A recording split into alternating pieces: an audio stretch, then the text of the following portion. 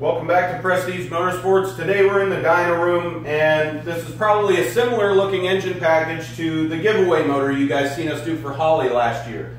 So what we wanted to really highlight with this was, is that on the Holley giveaway we had an as cast cylinder head. This one you'll see is our CNC cylinder head which is a 205.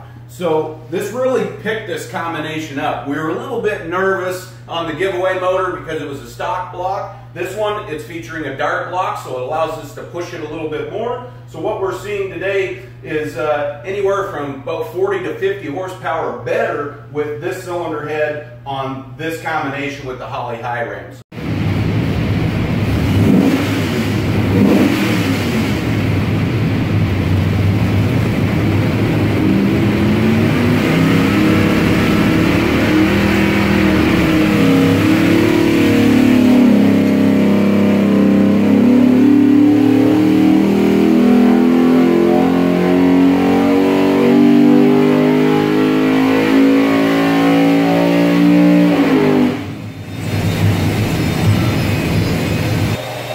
So I don't know if you can see these numbers here, but down at 4,200, it's 395.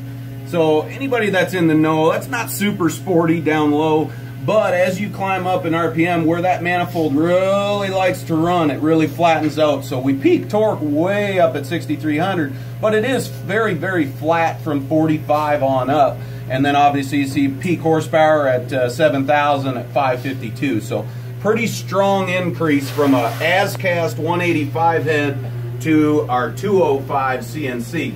More or less the same combination.